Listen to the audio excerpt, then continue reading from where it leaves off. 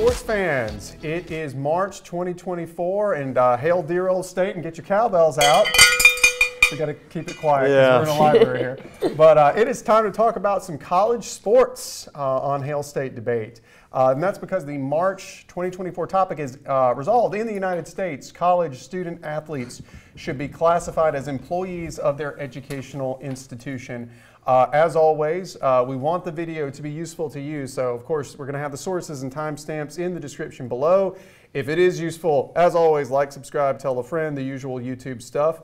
I'm really excited about this for me personally. It's, uh, it's a topic about uh, labor and employment law. It's a topic about sports. If only we had a former labor and employment lawyer uh, and two students at a large SEC institution with major sports to talk about this. Uh, it turns out we It's a do. shame. Oh, hey, okay.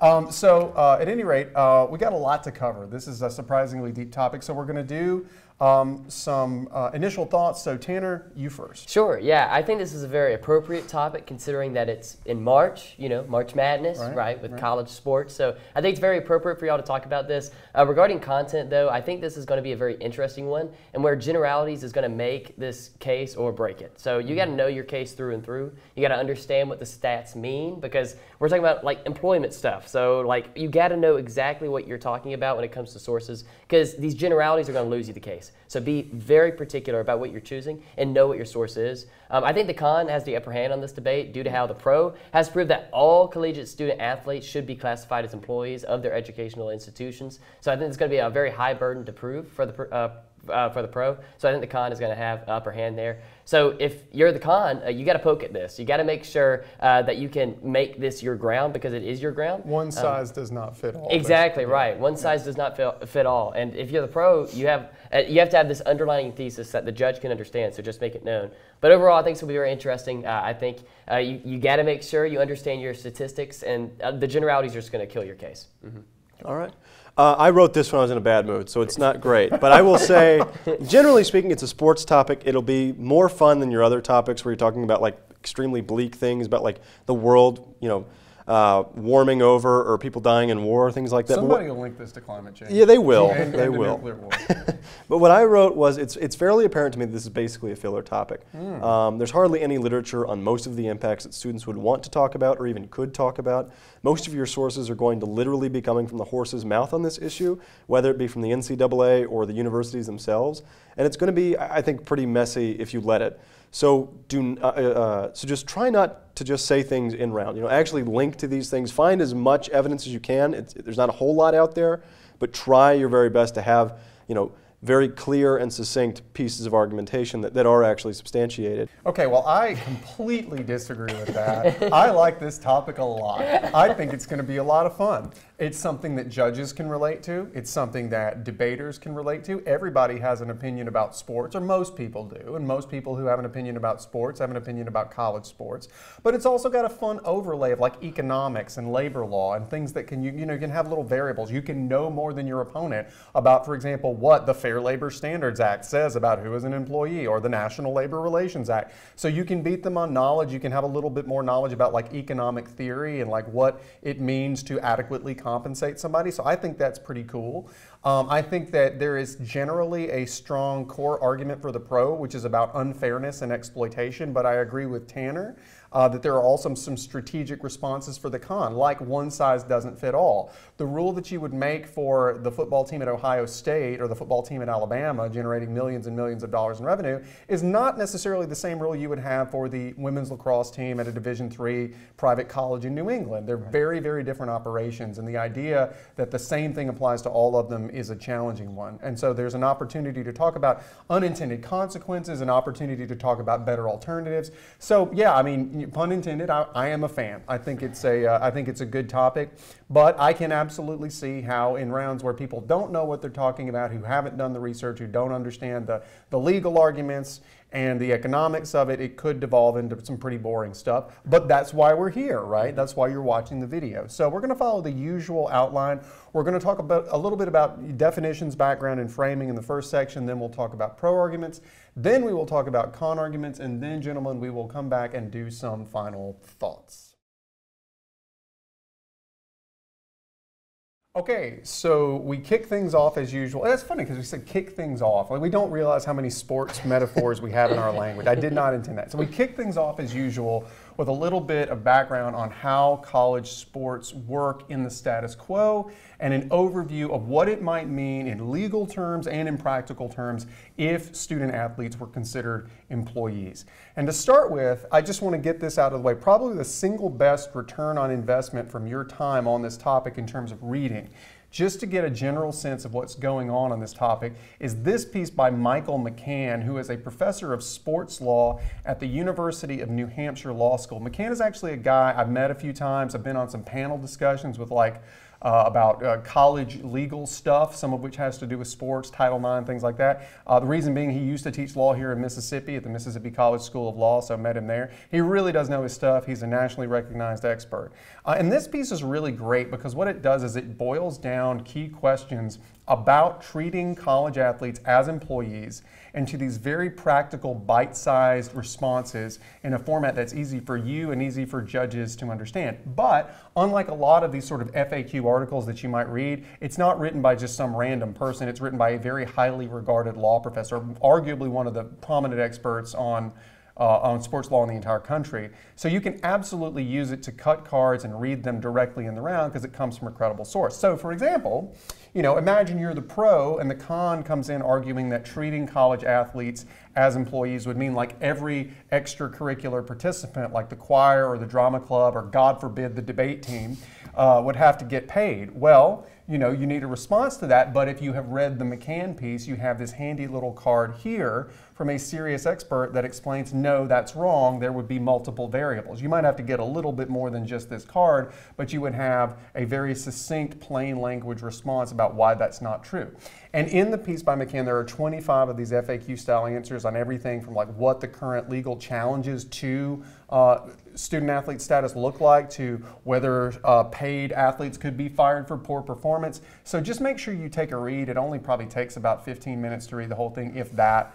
Uh, but we just wanted to get that out there front and center. And now let's step back and take a look at the big picture, starting with the history of student athlete labor in America. So, we don't have time to cover the very elaborate history around the classification and treatment of student athletes in the United States. Suffice it to say, it goes back a ways. Mm-hmm. Uh, but first, college athletics are, are very different in the United States than in nearly all other countries in the world.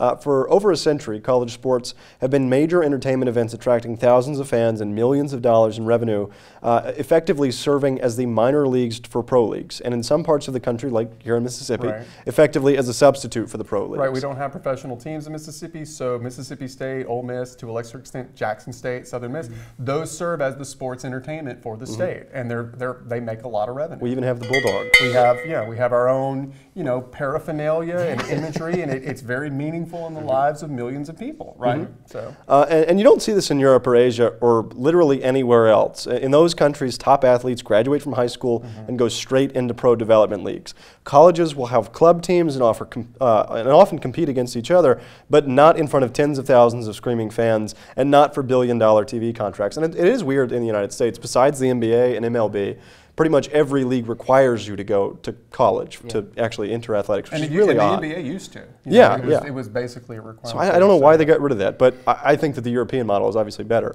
We don't have to spend millions of taxpayer dollars to, to fund, you know, the club teams in Europe. So, given all the attention and money being attracted, it shouldn't surprise us that throughout the 20th century, the argument that college athletes are employees has come up multiple times. It's nothing new. The story of how this argument evolved is summed up really well in a 2006 article by Robert and Amy McCormick at Michigan State University called The Myth of the Student Athlete, the College Athlete as Employee. And while it's a little dated and doesn't cover all the most recent developments, this is a fantastic article to get the backstory on the debate about student athletes as employees. So I definitely recommend that you read it, but it's pretty long, so maybe direct you to the relevant part. You might turn to page 83 where you learn this. In 1953, in the University of Denver versus Nemeth, the Colorado Supreme Court upheld a determination by the State Industrial Commission that Ernest Nemeth, a football player at the University of Denver, was an employee within the meaning of Colorado Workers' Compensation Statute. Thus, the university was obligated to provide workers' compensation for his football injuries. And by the way, the compensation in this case was to pay the widow of a former football player who was killed during a football game, which raises a whole host of other issues. But anyway, the article continues, quote, stunned by the Nemeth decision, the NCAA responded by coining the term, quote, student athlete and requiring its exclusive use thereafter. By emphasizing the identity of athletes as students, the NCAA uh, endeavored to diminish any tendency to characterize them as quote unquote employees as then NCAA directive, or executive director Walter Byers later wrote, another quote, the threat was the dreaded notion that the NCAA athletes could be identified as employees by state industrial commissions and the courts. We crafted the term student athlete, and soon it was embedded in all NCAA rules and the interpretations as a mandated substitute for such words as players and athletes. We told college publicists to speak of college teams, not football or basketball clubs, as a word common to the pros. Aha! So there you have it. the whole idea of student athletes was a marketing ploy, right. uh, a transparent attempt by the NCAA to distract from the free labor and revenue it was extracting from young people. The term student athlete was such a cynical attempt to distract regulators and the public that, there, that there's even an argument that the term itself is oppressive and should no longer be used.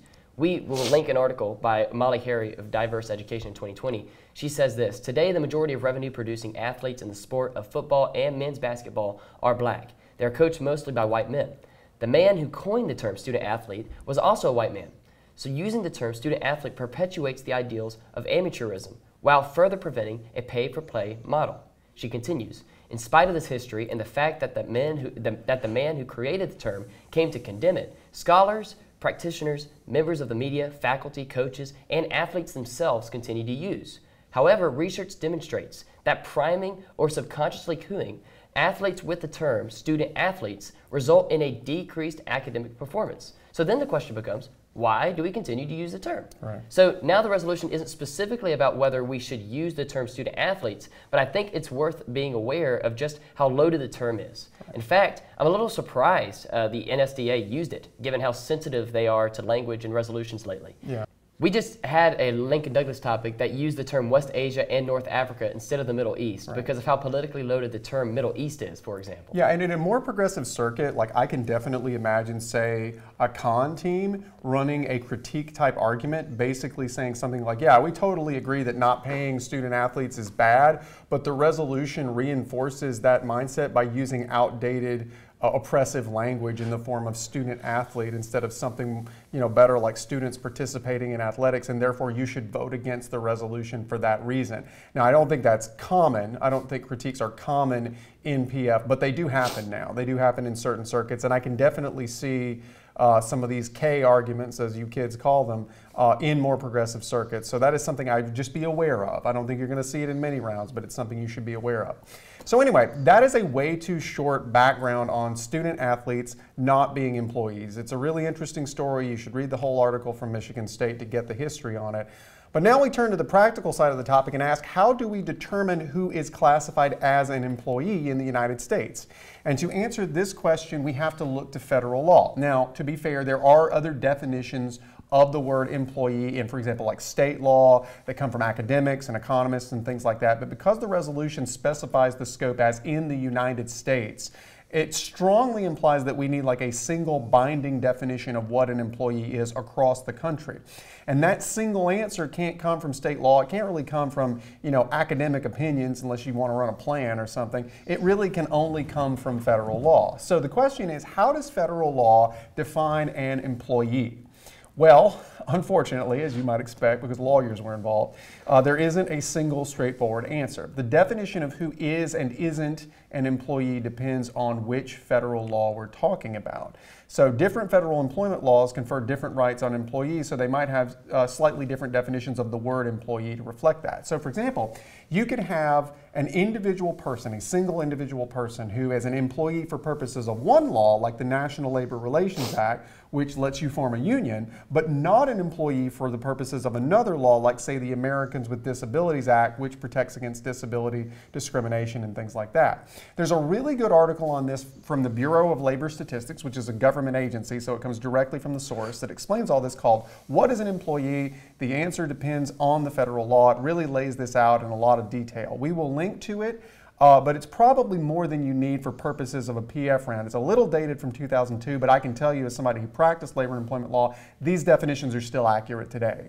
But uh, at any rate, the main part of it you want to see is this chart uh, that gives you the, the, the, basic three tests that we use uh, to determine whether someone is an employee under federal law. And to make a long story short, while we do have this hybrid test down here at the bottom that's kind of a mixture of the first two, the two real tests we use in federal law most of the time for employee status are these first two in the chart.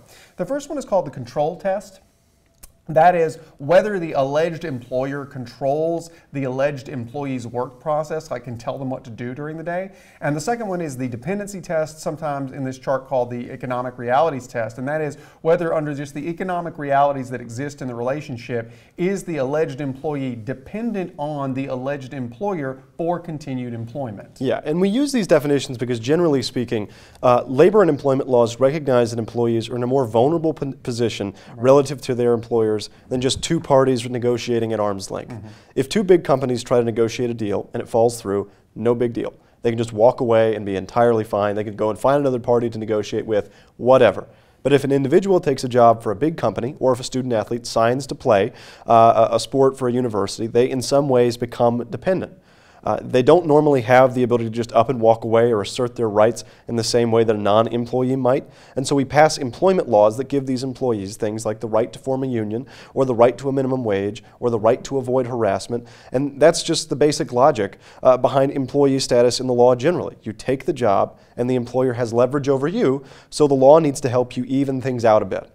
Now, luckily for the pro, I think that basically college student athletes meet both of the control tests, both the control test and the dependency test. Mm-hmm. Coaches and administrators have absolute or almost total control over how athletes practice, play, and, and even study. Uh, and student athletes are very much dependent on their schools for their scholarships, training, and other opportunities related to their sport.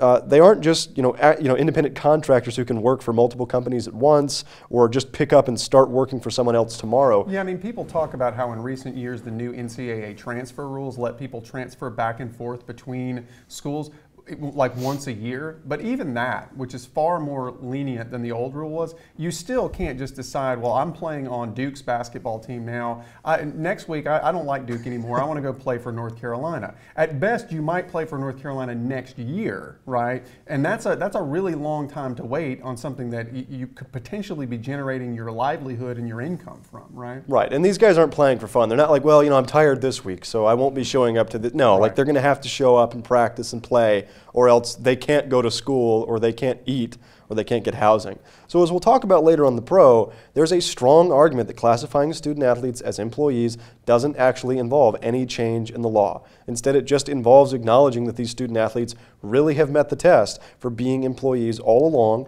They've just been denied compensation and other rights because of this legal fiction that they're not yeah, that they're not working and therefore not employees. Yeah, I will actually say I'm not going to link to it in this because it, it's a little crude as you might imagine. There's actually a there's a there's a segment on South Park from a couple of like a decade ago. oh yeah, uh, where Cartman yeah. comes in and talks about student athletes. Now, if you want to look up South Park student athletes, you can watch it. It actually compares the system kind of crassly to like slavery. Yeah. We're not going to include that here, but if you wanted to see just how mocked and derided the idea of student athletes is, again, South Park student athlete, and you'll see what we're talking. That's the one where he like he finds out they're using the term, and he's like, "Oh, I'm going to start." Yeah, I get your tone. Right. Uh, uh, but now at this point, you're probably thinking, you know, wow, this sounds great for the pro. And, and it does, but don't get too excited because we still need to talk about our second big question, which is As a practical matter, what would change if student athletes were treated as employees? That's a big thing you have to know. So, here again, the answer is it depends on which law you apply. Right. As we just briefly mentioned, being an employee confers different rights under different laws, as you could probably imagine. So, for example, under the National Labor Relations Act, the NLRA,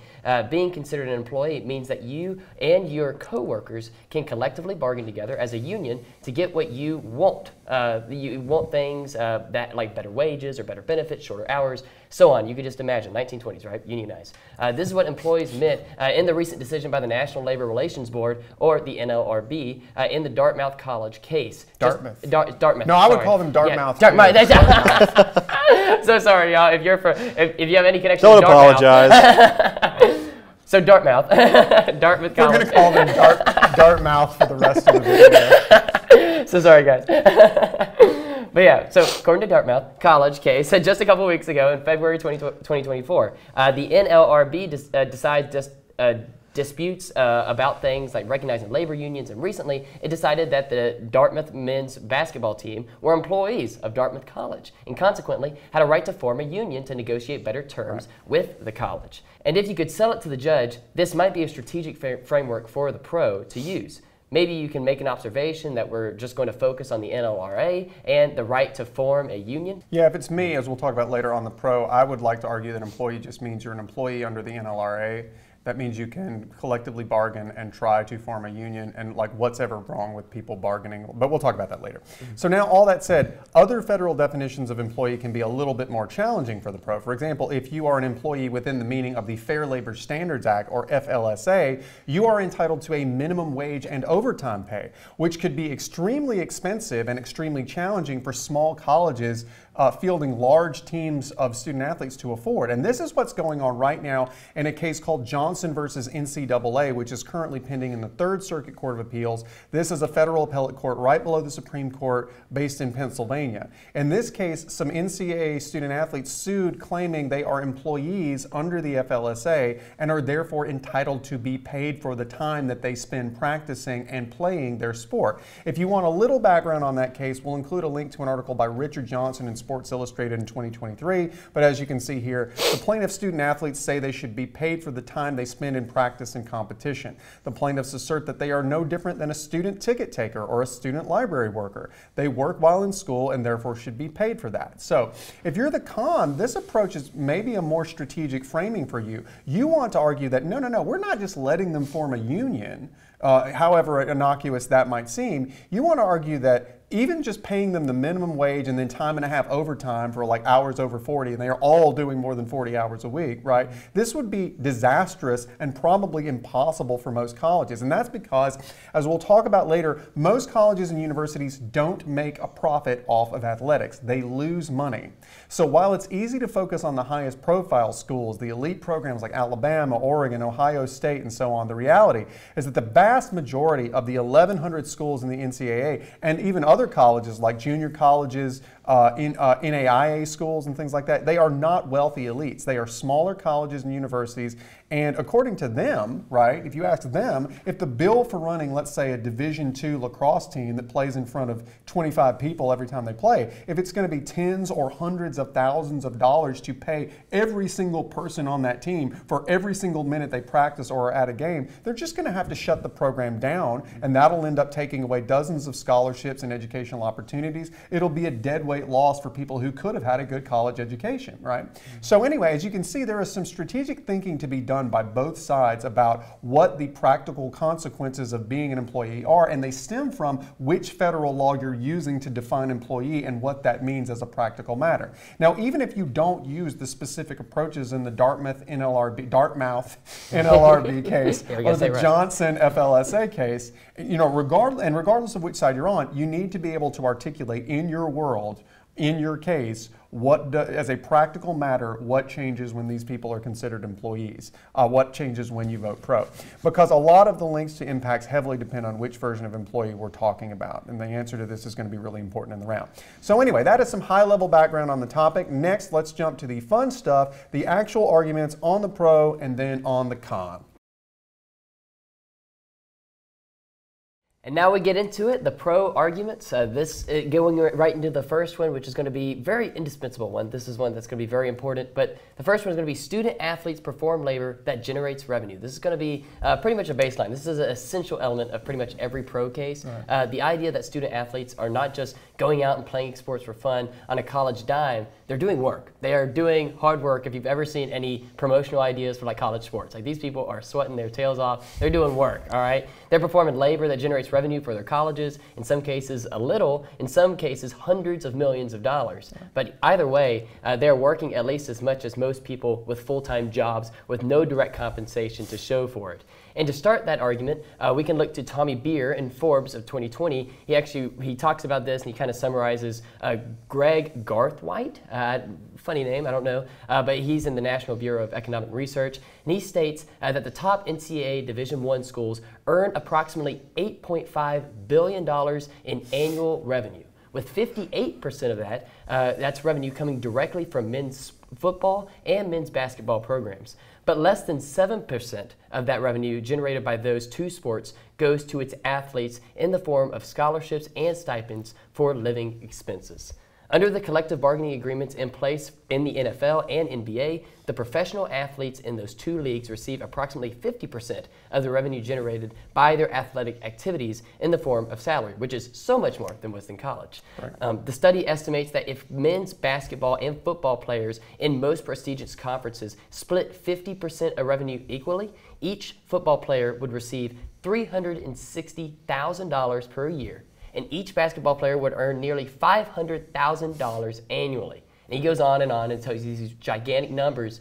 But uh, we, to put it simply, the money, for, the money from college football and basketball are not going back to these people who are generating it. The NFL and the NBA have collective bargaining agreements in place uh, to get their athletes about 50% or half the money that the league generates. So, but they aren't doing that. Right now, like 7% is only going back to college athletes. So that, as you can see, is so much smaller than what's happening in the, pro, in the pros. So if you need a source on that, uh, there's one from Yahoo Finance in 2023 from Kurt Badenhall. Badenhausen? Badenhausen? Badenhausen. Yeah, Badenhausen. Yeah, that's, good. yeah.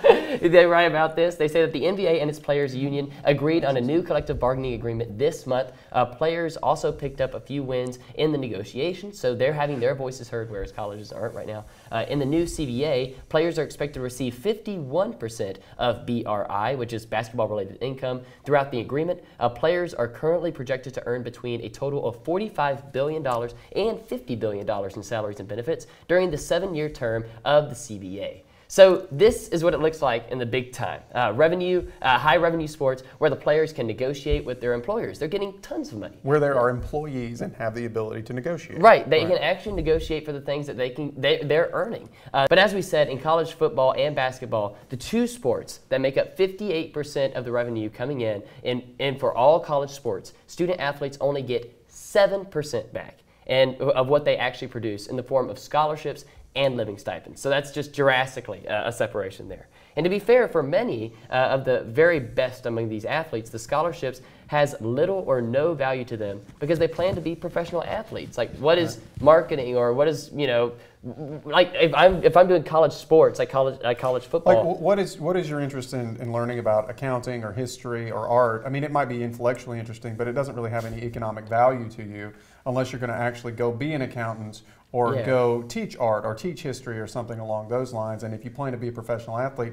there's really no value. It's just one more thing you have to do. In fact, college athletes likely work more than their professional counterparts, given how much control colleges exert over their lives. They don't just have to show up to class, they have to see the nutritionist, they have to see the tutors, they have to go to practices which run extremely long. So it's not just the, you know, the daily life of an everyday student. And I can tell you from working at an SEC institution as an administrator, I don't work in athletics, but I work with athletics, these student athletes are carefully monitored. They're meeting with tutors, they're going over assignments, they're meeting with nutritionists, they're meeting with personal trainers in the off season. They're often being told by their coaches that if they want to succeed, like if you want to be a starter next year, you want to have a chance to go pro, you need to go be competing on your own time in the off season. You need to play in summer leagues, you need to be training full time. So it's way, way, way more than just the near full time job of the practicing and the playing and things like that. Right, and, and this is all summed up nicely uh, by the NCSA College college recruiting. They say, quote, uh, on college campuses, amateur Division One student athletes are expected to work much longer hours.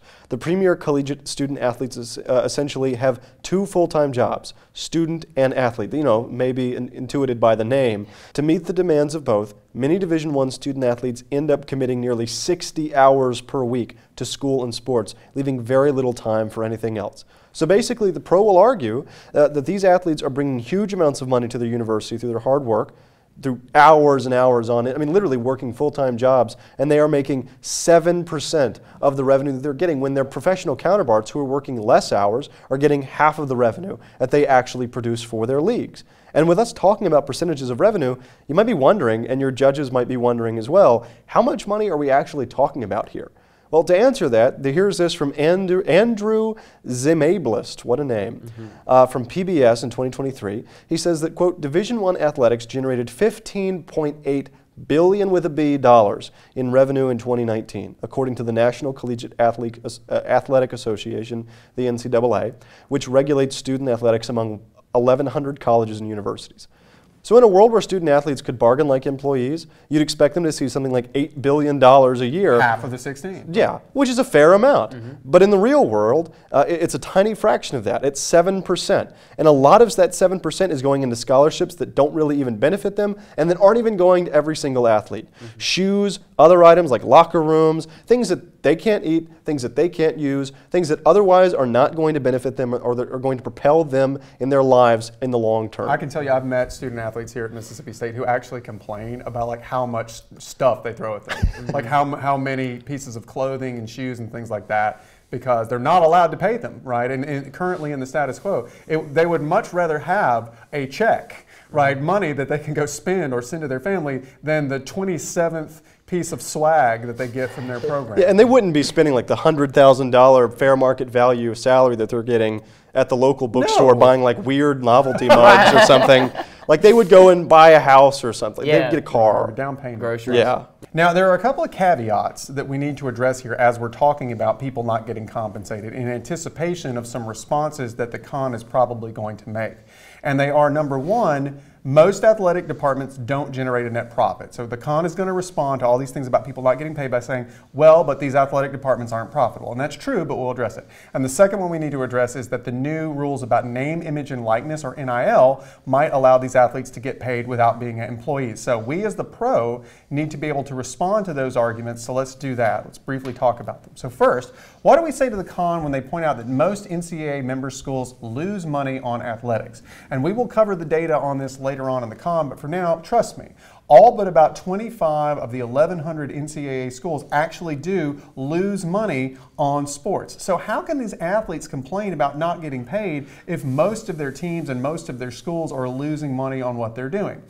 Some people argue that these programs only lose money because their coaches get paid too much, but that's actually not true. There's actually a really good piece by Dr. Scott Hirko that we're going to cite on the con that shows even if you exclude coach salaries, the number of profitable NCAA schools only goes up from 25 to 37. So that's actually not the right response. The real reason that losing money doesn't change the equation is because lots of businesses and lots of subsections of businesses, and certainly most government agencies, which is what public universities are, lose money, but you still have to pay the employees for the value that they add. For example, I, right, I work in the legal compliance department of a big university.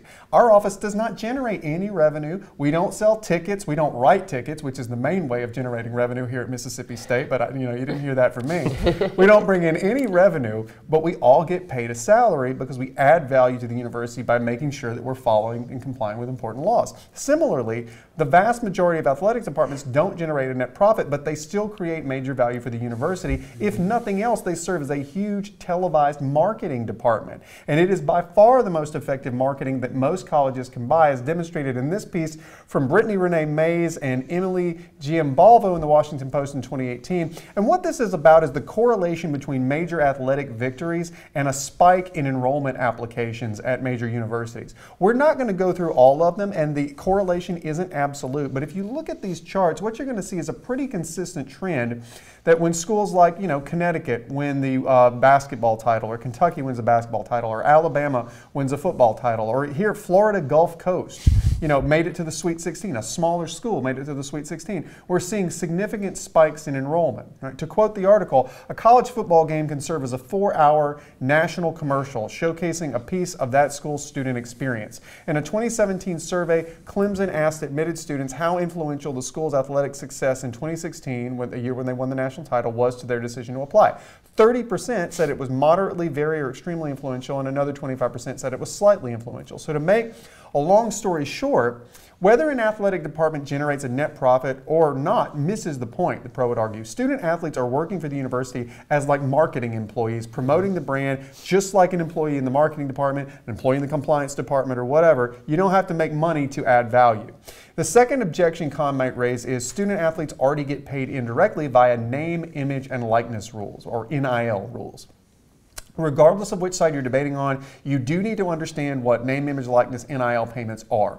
Basically, if you haven't heard of this before, these are payments from parties outside the university to a student athlete to use their name, image, or likeness to like promote a business or a product or something else. They're basically endorsement deals, right? So, for example, if a basketball player at Mississippi State signs an agreement to make a commercial for a local car dealership and gets paid $10,000, that is a name, image, and likeness payment. Now, for a long long time, these kinds of deals were banned under NCAA rules. They were seen as not being amateur athletics, amateur athletics where the coaches make millions of dollars, right? But since 2019, that rule has gradually been eroded until it was finally abandoned in 2021. There is a very nice, succinct summary and a timeline of how NIL came to be and how the old rules uh, ended in the Atlanta Journal Constitution in 2022, which we will link to. Not going to read it, but I do suggest that you read it. But basically, some con teams might argue that treating treating student athletes as employees is unnecessary because they can already get paid via these NIL deals. And in fact, some student athletes are getting paid very handsomely with star football players and basketball players, uh, like I think you said, Caleb Williams, mm-hmm. I think getting six and even seven figure deals. Boosters of these big programs are getting together into so called NIL collectives to raise money and make deals with recruits and effectively pay them to come to their favorite school. So the pro needs to be able to explain why is this not enough? Why is the status quo where you can get NIL deals, why is that not enough? Why do we need to make them employees? And I think there are at least three answers to this. So the first one is most NIL deals involve trivial amounts of money. So for every Caleb Williams making millions of dollars, there are thousands and thousands of student athletes who make a trivial amount. This is from Bill Carter in the Sports Business Journal in 2023. What he says is, according to the NIL marketplace Opendorse, the average compensation for student athletes on their platform was about $1,300 per deal in year one of NIL. It should be clear that averages can be inflated due to very large deals, so that might mean that the, uh, that the median number is actually lower for many student athletes. So this is a trivial amount of money in comparison to the amount that a lot of pe these people are working. Second, again, we'll come back to this point. The fact that I can earn money outside of work doesn't mean my employer doesn't have to pay me. Mm-hmm right? If I am a great software engineer and that lets me do like a side hustle making YouTube videos about coding and they bring in some money, like they get popular and it blows up and I get some money about coding, that doesn't mean my employer can say, well, you know, you're already getting paid for your YouTube channel. I guess I don't have to pay you. That's just not how it works. If someone generates value for you, the fact that they can get it from somewhere else too does not in any way mitigate your obligation to pay them. And the third reason why NIL is not enough is it's heavily skewed to a handful of high revenue sports. This is kind of related to the first argument, but this is from Caitlin Balasaygun, I think, from uh, CNBC in 2022. And you can basically see what she's saying summed up in this chart where you see almost 50% of all NIL compensation goes to football, almost 20% of the rest of it goes to men's basketball. So what we see here is that about 70% of the revenue goes to two sports totally inhabited by men. Now, if you look at the rest, you will see, yes, as the title of the article implies, women are in many of the sports also in the top 10. But if you look at how quickly the revenue trails off, it's a tiny fraction of what men are getting. And this chart doesn't show you the other 25 sports like soccer, golf, fencing, rowing, and other things that are all under 1% of the revenue. And that's kind of the problem with the NIL, right? It does almost nothing for these less high profile sports. Even if we agree that football players should be paid more, the pro would argue that athletes in fencing and rowing and golf are still doing work. They may not need to be paid as much as uh, football players, but they need to be paid something. And when you trail down, you know, on this on this chart here to like less than one percent, they're not. They need to get paid wages. They need to be able to bargain collectively. They do not need to basically beg for scraps from wealthy donors under the NIL payment. And so, with all of that out of the way, I think we can finally move to our next main argument, which is employee status puts bargaining on an even playing field. And so, this is a shorter one, but I think it also, it just generally, is very intuitive. Uh, as we discussed earlier, the main benefit of employee status under the National Labor Relations Act, or the NLRA, is the ability to legally form a union and bargain collectively for your interests. Collective bargaining is the term we use when a union uses the collective leverage of many workers together who might go on strike, picket, etc., to force the employer to make greater concessions. And, and, the entire idea behind collective bargaining is to put the workers on the same footing, or at least more even footing with the employer. The employer acts as a single entity, which means it uses all its leverage when bargaining. It can threaten to shut down the business, fire all the workers, uh, you know, etc. If workers act alone, they can be picked off individually. However, if the employer is forced to bargain collectively with the entire union, it can't exploit the weakest of individuals because they're all, of course, coming together under one sort of banner and, and asking for the same kinds of concessions.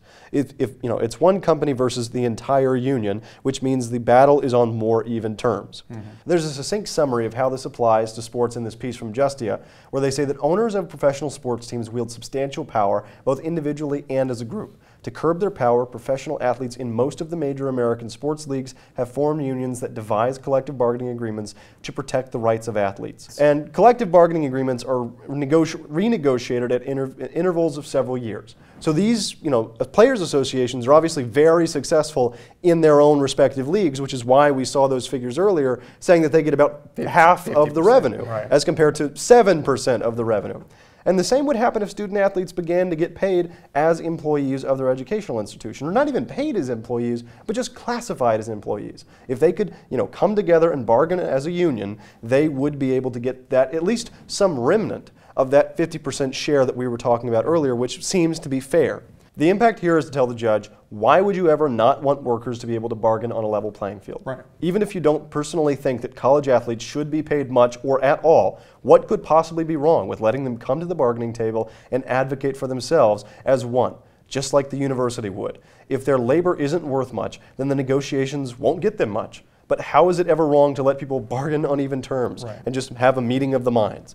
Also, this unionization is not as far flung as you may think it may be. According to Alex Kirshner, he's uh, writing in Global Sports Matters in 2022, he writes, quote, For decades, the idea of college athletes forming a labor union has been a far-flung fantasy, but no longer. The National Collegiate Athlete, uh, Athletic Association, the NCAA, I hate the long-term name, long-time prohibition of athlete compensation is currently crumbling in courts and state houses alike, and its concurrent refusal to recognize athletes as employees may be next. If that happens, college athletes would be able to form unions and engage in collective bargaining with their schools, conferences, and even the NCAA itself. And of course, they would get a ton of money from that. So the basic takeaway here is simple. Even if you, as the judge, aren't sure about the details like how much student athletes should earn or whether every single player should be paid or get other benefits, which you probably shouldn't provide because that'd be a little bit too specific, it might be a plan, you don't need to worry about those details. All we as the pro are advocating for is letting student athletes have the same right to organize as any other person that has a job on pretty much the face of the earth.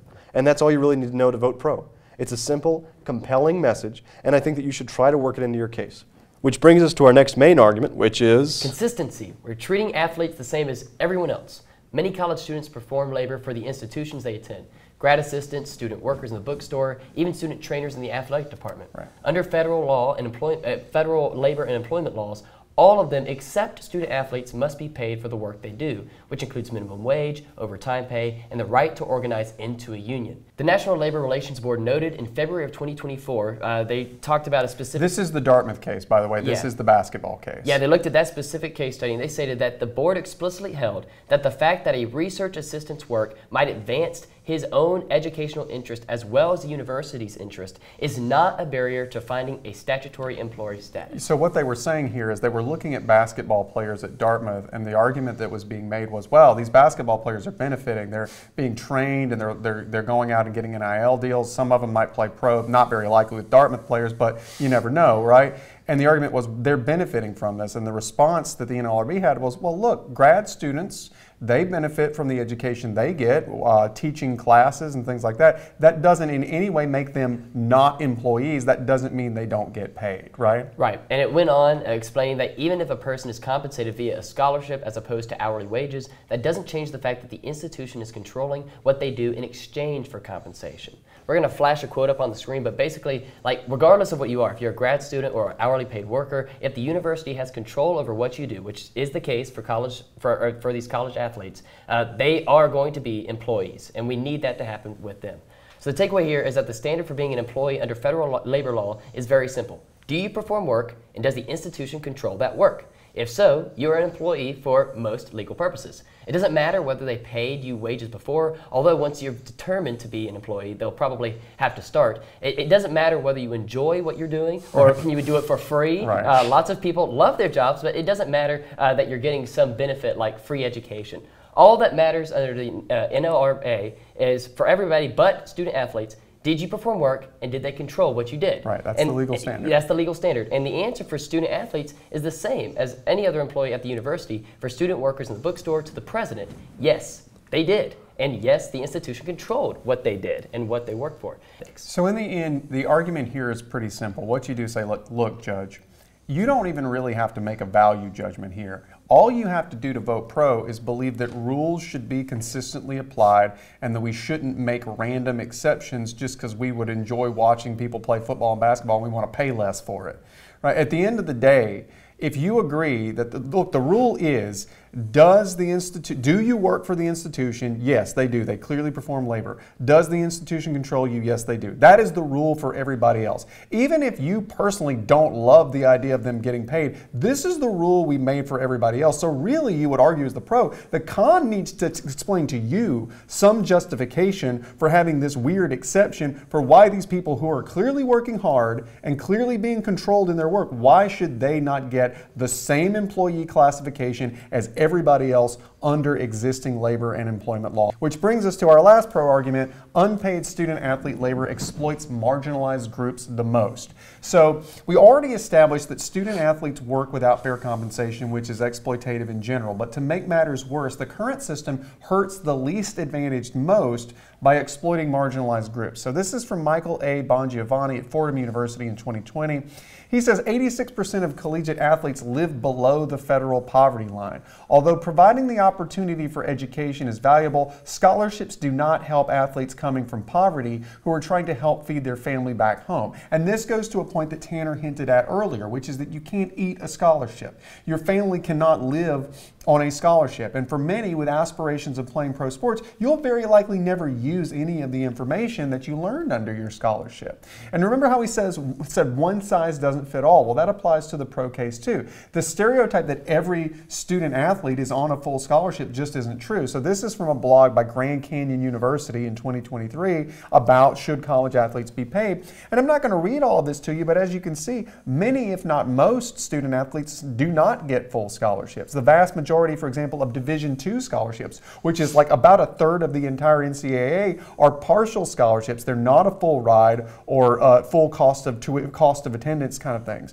And number four here, you see most college sports, even at the D1 level, don't offer full scholarships. They're generally reserved for men's basketball and football, as well as a few women's sports. I can tell you, for example, baseball players here at Mississippi State, by rule, almost never get full scholarships, even though they won the national championship a few years ago. Anyway, this is all really good stuff for the pro in terms of like socioeconomics, but I think the real impact here comes from racial disparities, and specifically the idea that the status quo is effectively transferring wealth generated mainly by black athletes to teams and coaching staffs that mainly consist of white individuals from more affluent backgrounds. So this is from Craig Garthwaite of the National Bureau of Economic Research. We cited earlier, this is in 2020. And I'll read you the quote here. We find that the rent sharing, rent sharing just means the distribution of the money from college athletics. They call it rent sharing. That's a technical term. We find that the rent sharing effectively transfers resources away from students who are more likely to be black and more likely to come from poor neighborhoods towards students who are more likely to be white and come from higher income neighborhoods. The athletes generating the rents, again, rents is a technical term, just the money, right? The athletes generating the money who mainly play football and basketball are more likely to be black and come from lower income neighborhoods, and the rents are shared with a set of athletes and coaches who are more likely to be white. Now, to explain this in simple terms, imagine a typical college football team and a typical, say, college lacrosse team. Obviously, there are going to be people from all different backgrounds on each team, but statistically, the football team is likely to have more players who are black and more players from less privileged economic backgrounds. Meanwhile, the lacrosse team is statistically more likely to have mostly white players and to have more players who grew up economically better off, just based on the demographics of who plays the sport.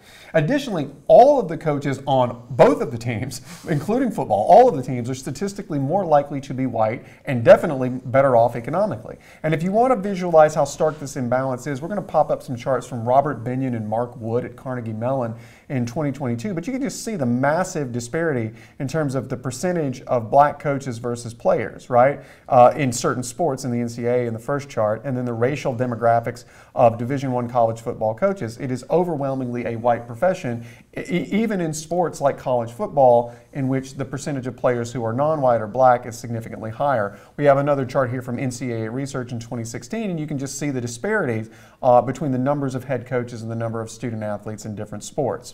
Uh, bottom line is there are more white coaches and more black players. The black players are not getting paid, whereas the white coaches are, and a lot of the wealth is being transferred to student athletes in sports, again, like lacrosse and tennis and things like that, who are more likely to be predominantly white. This calls for marginalized groups. Basically, this resolution is just calling for these marginalized groups to get paid for what they're rightly entitled to.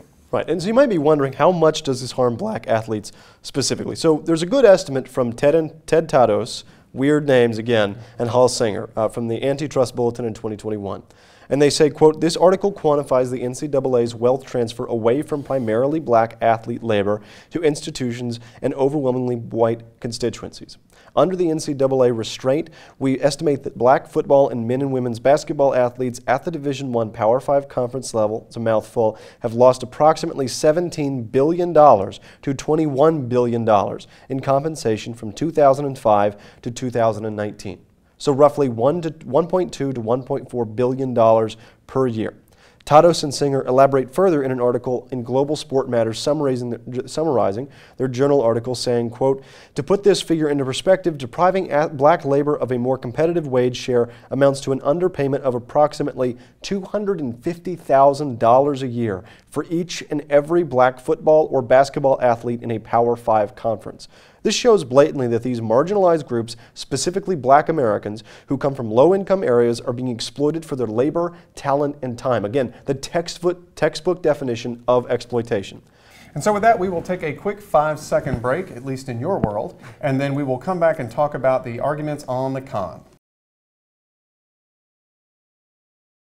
Okay, we're coming down to the fourth quarter here, folks. The uh, real crunch time to see if we can pull out a big victory here for you. Sorry, I mean, you can't help but do the sports stuff. Okay, but we'll keep it serious from now on. It's time for con arguments. Uh, and on that, uh, I'll start things off with uh, number one, which is most athletes and schools don't generate profit. So the whole premise of the pro is that college athletics is generating these huge amounts of money and student athletes aren't getting their fair share. But the reality contradicts that. It's that college athletic departments lose money rather than making a profit. And while this isn't the be all end all argument, there are responses to it. It has an impact on the round. So let's talk about it. So according to Mark Drozdowski of Best Colleges in 2023, he writes, according to the NCAA, among the 65 autonomy, and these are just, that just means the top tier conference schools in Division One, only 25 recorded a positive net revenue in 2019. The situation isn't so rosy for Division One non-autonomy schools, and that just means the ones outside the big, what formerly was the Big Five conferences. There's really not five of them anymore, but um, outside of that, you have 64 institutions. Every single one of them lost money in 2019 with a median deficit of $23 million per school. Also in Division One is what you call the Football Championship Subdivision, or FCS. These are what we used to call 1AA programs, and they're the smaller Division One schools. All of them lost uh, money in 2019 with a median loss of $14.3 million per institution. Finally, uh, there's in Division One, you also have 97 schools without football programs. All of them had negative net revenue with a median loss of 14.4 million. And then finally, you have the NCAA Division Two and Three. These are the two smaller divisions that actually make up two thirds of the schools. So most of the schools in the NCAA, all of them lost money as well. In other words, uh, of the 363 NCAA Division I schools, the 313 Division II schools, the 442 Division III schools, 1,100 institutions in total, a grand total of 25 of them made any profit at all in 2019, which is the last data that we have. In other words, 97% of them lost money on athletics. And if you want a really good school by school summary on this, you can check out this piece by Dr. Scott Hirko on his LinkedIn blog. Uh, but it is, he seems to be an authoritative guy with good data. This is from 2022. And as you can see, he reaches slightly different conclusions than the Drozdowski piece. He finds that uh, 18 schools made a profit as opposed to 25, but his numbers are very similar. He has this really nice chart here where you can look and see the actual amount of profit or loss that these schools had in their athletic departments. You can see number 16 there, Mississippi State barely made a profit. But then after number 18, every single school, school you see is losing money. And that goes on for hundreds and hundreds and hundreds of entries in Division One alone. Now, to be fair, this doesn't end the discussion. And we know that because there are plenty of businesses, like we said, and plenty of government agencies that lose money and they still have to pay their employees. And as we talked about on the pro, even if an athletic department loses money, it may still generate value. But what these statistics do accomplish is to undermine the pro's narrative that there are all these student athletes out there who deserve to get rich because they're funding these athletic departments that are just rolling in cash and can easily afford to pay them. For the vast majority of colleges and universities, this narrative is simply not true. The Michigan or Alabama football programs may have tens or hundreds of millions of dollars sitting around to pay players, but I guarantee you the Division III women's lacrosse program uh, down the street does not. These programs lose money, just like the college debate team loses money. We don't make a profit. The choir does not make a profit. They barely scrape by uh, these like lacrosse teams and tennis teams at Division three uh, colleges. They barely scrape by, staying in budget motels when they travel. They play in front of a few dozen people. They play mainly for the benefit of the players, not for the fans. And uh, all of a sudden you said, hey, listen, the federal government just decided that you're all employees. It's going to require that we pay you all the minimum wage plus one and a half times that for overtime because you're employees. Do you know what a lot of those teams would do? They would shut down. The Tougaloo College or Millsaps College in Jackson, uh, they cannot afford to pay every member of their soccer team or their volleyball team or even their football team. And if you suddenly said, hey, listen, the federal government has decided that all of you at this Division III college are now employees and we're going to have to pay you the minimum wage for all the hours you practice and play and probably for when you travel. And then we're also going to have to pay your overtime, which is time and a half of that number uh, because you are employees. Do you know what a lot of these smaller schools would do? They would shut these programs down. Tougaloo College or Millsaps College in Jackson, Mississippi cannot afford to pay every member of their soccer team or their volleyball team or even their football team. And the minute you decide that they are employer, uh, employees under the Fair Labor Standards Act in particular, these schools are going to have no choice but to shut down a big portion, if not the entirety of their athletics program. This is summed up nicely by Bridget Shanley in 2014. She says another concern the Northwestern University football players, and that was a case back in 2014 about paying players, did not consider was the cost of classifying student athletes as employees for their student athlete peers in other sports and the athletic program itself. Universities may discontinue funding losing teams that cost more money to run than bring in revenue in order to shift focus and funds to high revenue teams. There's another article here from Kristen Miracle uh, from the law firm Montgomery McCracken in 2023. And it says, and this is about the Johnson case we talked about earlier uh, in the background section in the Third Circuit. So, what it says in the case currently before the Third Circuit, Johnson versus NCAA, the group of Division One student athletes led by former Villanova defensive back Ralph Trey Johnson are asking the court to determine whether D1 student athletes should be considered employees under the Fair Labor Standards Act. A ruling in the plaintiff's favor would require colleges and universities to pay student athletes minimum wage and overtime pay. This raises the question of how pay would be distributed to the athletes as well as how resources would be allocated to different programs.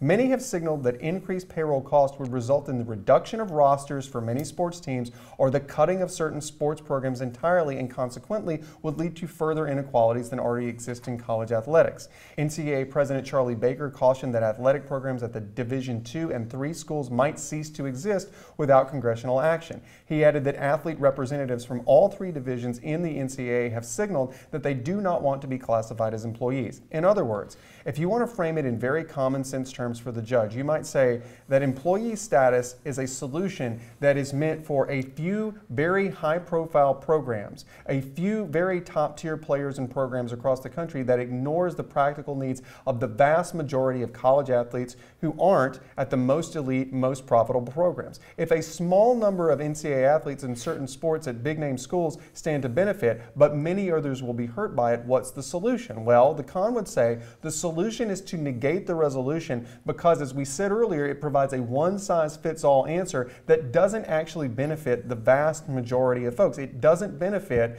the thousands and thousands and thousands of Division two and Division three athletes who are never going to generate revenue. And if they have to be paid a minimum wage under the law, their programs will simply shut down. So instead of a single broad brush approach, we should look to the case by case alternative. Right. The affirmation not only has to advocate that every single college which student athletes would have to pay up, they also have to argue that every single athlete must be paid. Right. The truth is, not all sports are football and basketball. There's lots of others. Here at Mississippi State, we have plenty of other athletic teams like golf, tennis, track, volleyball, etc.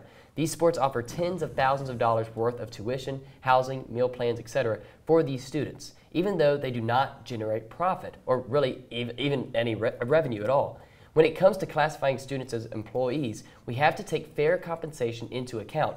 If a sport is making millions off of its athletes, then fine, we should pay them. But if a sport is only a drain on the university's budget, I don't see why a free education wouldn't be a fair compensation. So basically, the argument here is to say, look, Judge, the alternative to the resolution is not a world where nobody gets paid. It's a world where we look case by case and ask if this particular team, this particular athlete, this particular program would be a good fit for being treated as an employee right? The, the resolution requires that we take a one size fits all approach and basically, as Tanner says, pay everybody. Our response is, is simple. We don't necessarily disagree with the Ohio State football program getting paid, right? But they could get paid in a lot of ways. They could get paid through NIL. We'll talk about some other alternatives about how they could get paid in other ways.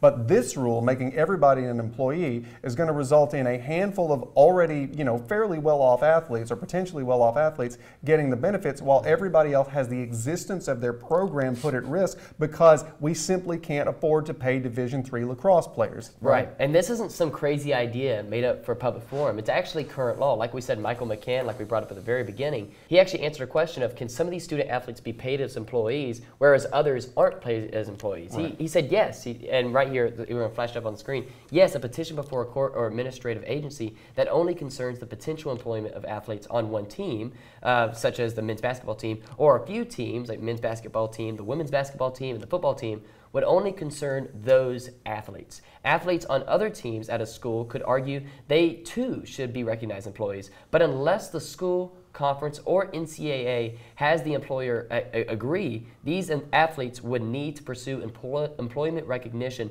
through the law and insist they similarly situated. In other words, bottom line, every individual team would be just, just like the Dartmouth case, right? Mm-hmm. In the Dartmouth case, we see a single team at Dartmouth petitioned the National Labor Relations Board to be recognized. All of the other teams at Dartmouth did not do that. So right now, they will not be forming unions. So what is going on in the status quo is we are going case by case. Some potential employees who want to be treated as employees can make that case. Others cannot. We do not need a broad brush rule, right? Right, and this makes absolute sense. Not every store, not every sport is the same. Court gains, uh, they actually here's a good graph here. It can show that there's a ton of revenue for football and basically not a lot for everything else besides uh, basketball.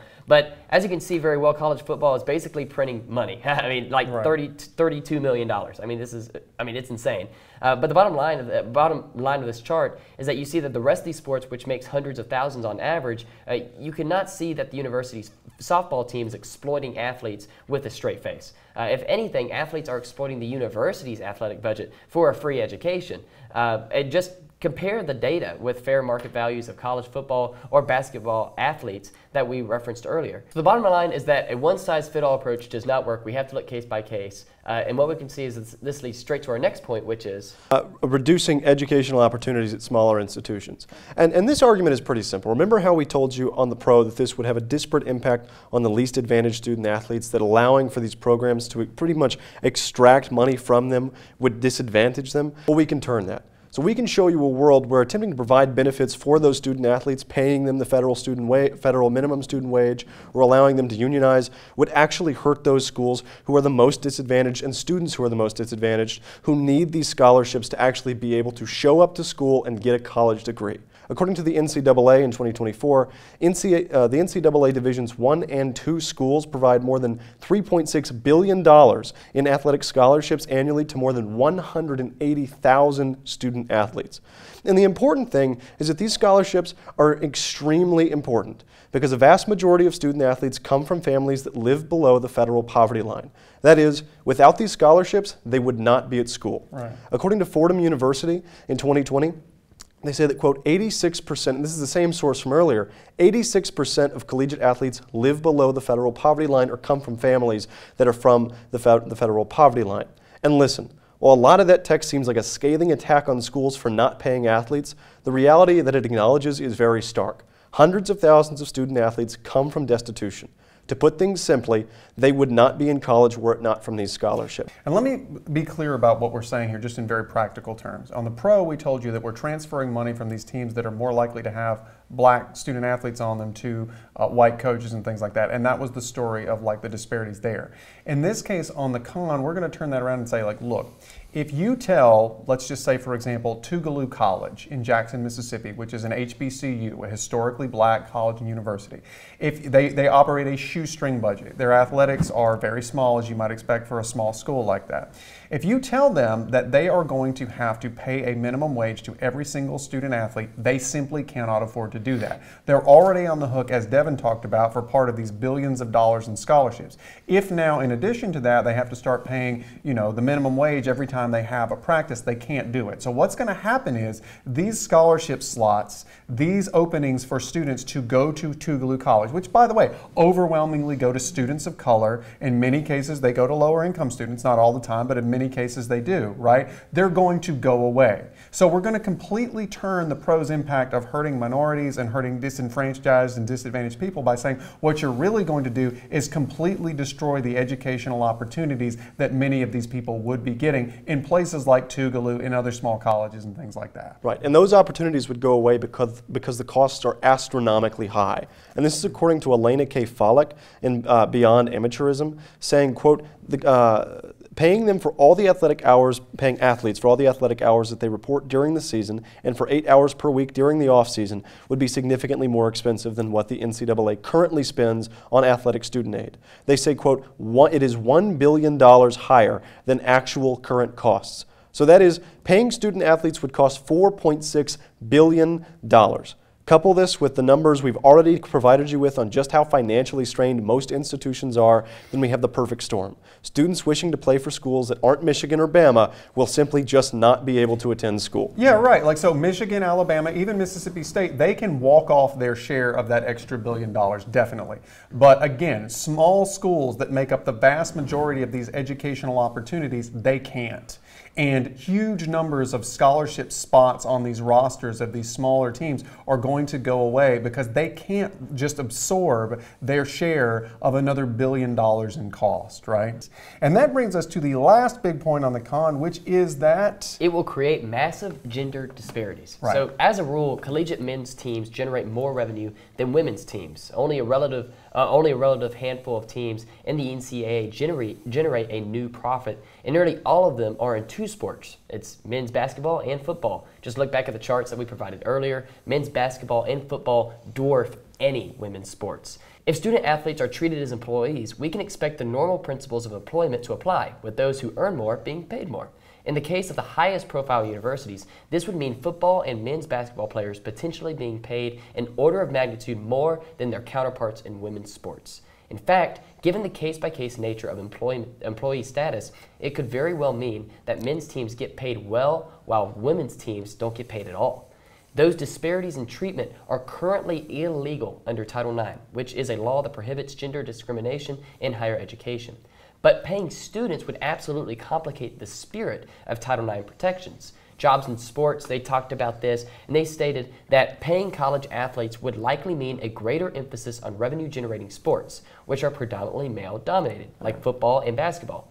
This shift could uh, lead to a widening gap uh, in resources and opportunities for female athletes, ultimately undermining the spirit of intent and intent of Title IX. Again, just look back at the figures we provided on fair market value for male football and basketball players. Schools would have to cough up hundreds of thousands of dollars just to compensate and keep their male athletes. And in absolutely wild cases, star athletes would be vying for millions when deciding which school to play for. And while women collegiate athletes are starting to feel uh, the love through NIL uh, and the, the disparities uh, will continue to persist, NIL gives a good indication that exactly a fair market employment system might look like, which is not looking good for the ladies in sports. Uh, Vanessa McGee, as she, she states uh, in 2023, that men co- college athletes receive 66% of deals from NIL collectives That means just 34% of women's sport athletes are paid through college NIL deals, which is a huge discrepancy. Right, and employment would look just as bad as this does. In fact, it would probably look worse.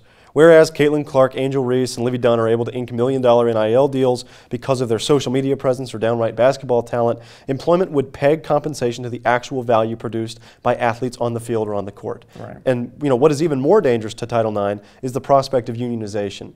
Even if compensation wasn't initially pegged to the value of the program, the, the right to unionize would guarantee its eventuality. Male football and basketball players would, would easily be able to unionize across the nation and demand significant amounts of compensation, better amenities, or more scholarships, all based on the massive amount of money that male sports produce. And in this case, employee rights in Title IX would run into direct conflict. David J. Santasino, or Santasenio, whatever his name is, uh, in 2015 writes, quote, a unionized football team could force the institution to negotiate over better locker rooms, better practice facilities, better travel accommodations and meal plans, or additional medical training support. In addressing those, the, those demands, the institution would have to evaluate carefully whether its football program was receiving unequal benefits compared to other teams, most specifically the women's teams. In a practical sense, the institution would then potentially be forced either to provide additional benefits to its women's teams to balance the benefits it was providing to men's football, or accept that its athletic program was likely out of compliance with Title IX and bear the consequences. And let's be clear about what we're talking about here, okay? In the status quo, in a world where we have student athletes who are not employees, we can have a law like Title IX that says you have to basically treat men and women the same. They get the same scholarships. In places like Mississippi State, they can get some small cost of living payments, which are not wages, but they can get enough to, you know, pay, pay for their food and things like that. But they get the same thing, okay? Maybe under this model that uh, the NCAA president has proposed, you could do the same thing. You could have more or less equal distribution consistent with Title IX. But in a world where we pay people wages based upon their market value, that's not going to be the same. And particularly, as Devin says, when we start unionizing. Remember, these teams aren't going to unionize altogether. I can guarantee you the football players at a Power Five conference are not going to unionize with the women's lacrosse players because they know that their bargaining position is much stronger and that unionizing with the women, frankly, would just water it down. So they're going to have a football players union right? And then they may also have a women's volleyball or water polo or whatever union, but the football union is going to have a lot more power. And they're going to be able to sit down with the athletic department and say, look, you make this much revenue. You've been distributing it over to these other teams. We don't want you to do that. We want you to pay it to us. And if you don't, we're all going to hit the transfer portal and leave. Or we're going to, you know, basically boycott. We're not going to show up for games and things like that. That is going to create a system, a situation where you really have no choice economically but to take away money that currently is distributed equitably to women and instead distributed overwhelmingly to the people who have the bargaining power in a world where they are treated as employees, and that's going to overwhelmingly be the men's teams. So that is what we've got on the con. It's a little more complicated in terms of the economics of it, but I do think the one size does not fit all argument works pretty well. And so with that, we will come back in just a second with some final thoughts.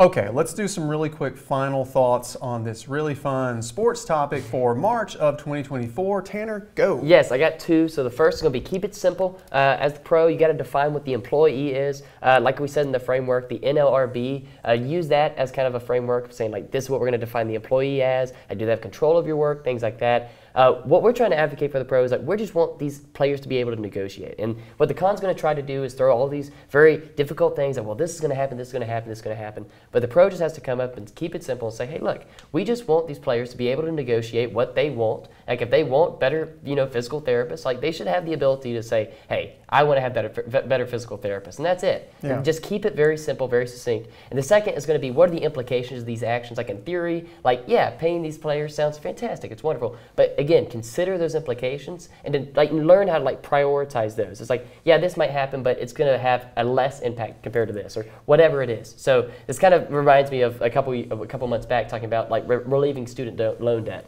It's like know what the implications are uh, and know how to prioritize those. But keep it simple and know what the implications are to your actions. Yeah, I think Tanner's right. I think that on the pro, if you can just say, look, we're not going to get into all this complicated stuff about the economics and the exact cost.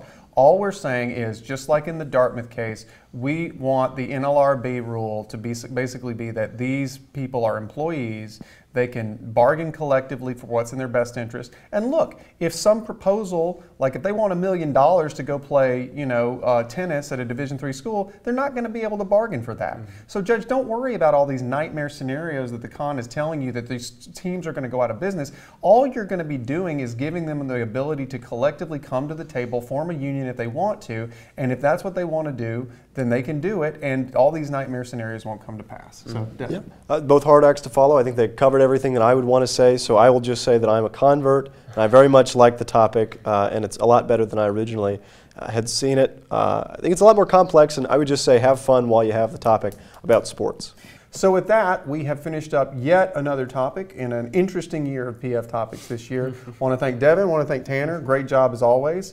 And uh, we will see you back next time here on uh, the channel. Just remember, as we always say here, debate is for everybody, so work hard, have fun, and hail state.